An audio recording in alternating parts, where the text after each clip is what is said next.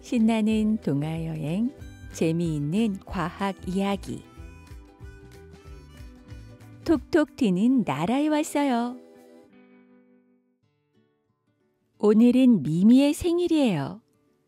어, 깜짝이야. 오빠 용이가 준 상자에서 도깨비 얼굴이 튀어나왔습니다. 히히히. 용이가 짓궂게 웃었어요. 미미는 도깨비 상자를 살펴보았죠. 도깨비 얼굴에 용수철이 달려 있었어요. 상자를 닫으면 용수철이 눌려 있다가 상자를 열면 원래 모양으로 돌아가면서 도깨비 얼굴이 튀어나오는 거예요. 얘들아, 놀이동산에 갈까? 아빠의 말에 미미는 손뼉을 치며 좋아했습니다. 놀이동산에는 사람들이 무척 많았어요. 키가 큰 광대들이 미미네 식구를 맞아주었죠. 안녕, 미미.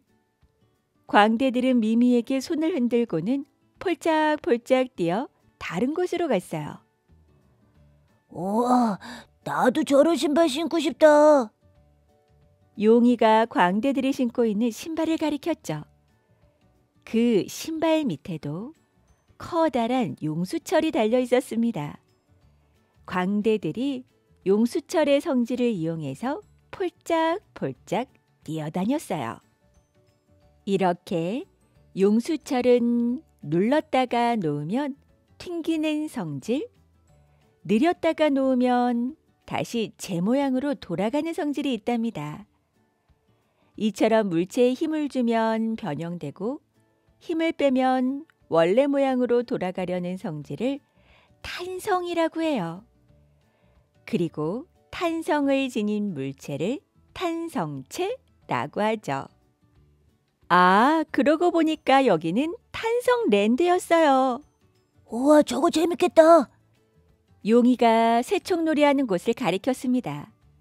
새총은 고무줄의 탄성을 이용한 장난감이에요.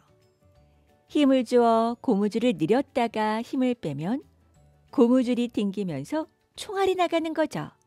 우와, 맞았다. 아저씨 상품 주세요. 어, 그래. 꼬마 아가씨가 새총을 참 잘 쏘는구나. 미미는 상품으로 스카이콩콩을 받았습니다. 미미가 받은 스카이콩콩에도 용수철이 달려 있어요. 용수철 위에 발판을 힘껏 구르면 용수철이 눌렸다가 튀어오르죠. 세게 누르면 많이 튀어오르고 약하게 누르면 조금 튀어올라요. 이렇게 탄성력은 힘을 많이 줄수록 커진답니다. 미미와 용이는 스카이콩콩을 타고 호숫가로 갔어요. 그곳에서는 다이빙 대회가 열리고 있었죠. 언니들이 높이 매달려 있는 구름판을 힘차게 구른 뒤 하늘로 붕 솟구쳐 올랐습니다. 그러고는 물속으로 붕덩 빠져들었죠. 이야, 진짜 멋지다. 미미와 용이는 언니들이 물속으로 들어갈 때마다 힘차게 박수를 쳤어요. 구름판을 다이빙 보드라고 하는데 다이빙 선수들은 다이빙 보드가 지닌 탄성을 이용해서 아주 높이 높이 뛰어오른답니다. 한쪽에서는 번지 점프를 하고 있어요. 언니가 몸에 줄을 묶고 아주 높은 철탑 위에 서 있죠. 그리고 철탑 위에서 아래로 휙 뛰어내렸습니다. 그러고는 다시 위로 솟구쳐 올랐어요. 떨어질 때 늘어났던 고무줄이 원래 모양을 찾으려고 줄어들기 때문에 고무줄에 매달렸던 사람이 위로 솟아오르는 거랍니다. 번지 점프도 고무줄의 탄성을 이용한 놀이기구예요. 어떤 오빠가 미미와 용이에게 알록달록한 찰흙 반죽 같은 것을 주었어요. 어, 이게 뭐예요? 탱탱볼이야. 오래오래 주물러야 돼. 탱탱볼의 탄성을 좋게 하려면 많이 주물러야 된대요. 미미와 용이는 열심히 주물러서 둥그런 공 모양을 만들었습니다. 그리고 탱탱볼을 바닥에 내리치자 하늘 높이 튀어올랐죠. 와, 잘한다. 미미와 용이는 소리가 나는 곳으로 가보았어요. 언니와 오빠들이 트램폴린 위에서 재주를 넘고 있었습니다. 언니는 트램폴린을 툭 차고 올라가 멋지게 두 바퀴를 돌았어요.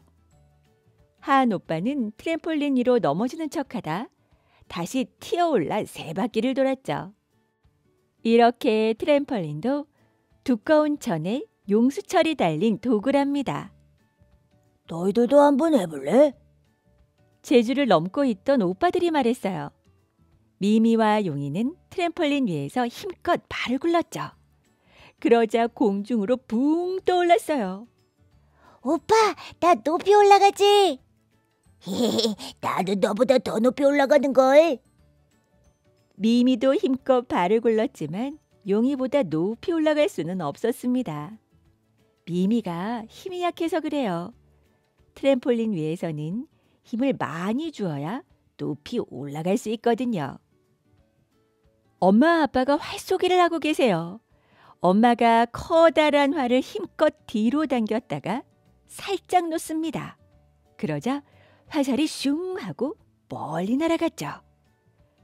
활은 대나무같이 단단한 나무로 만든 운동기구랍니다.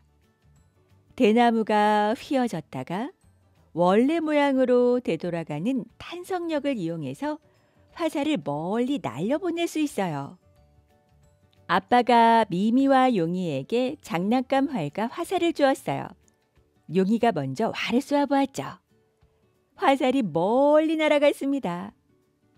이번에는 미미가 활을 당겼어요. 용이보다 더 멀리 날아가네요. 그러자 화가 난 용이가 힘껏 활을 당겼죠. 그런데 너무 세게 당기는 바람에 활이 그만 풀어지고 말았어요.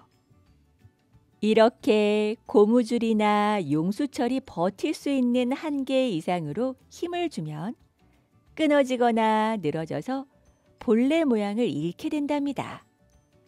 이때의 한계를 탄성 한계라고 하죠. 엄마, 우리 과자 사주세요.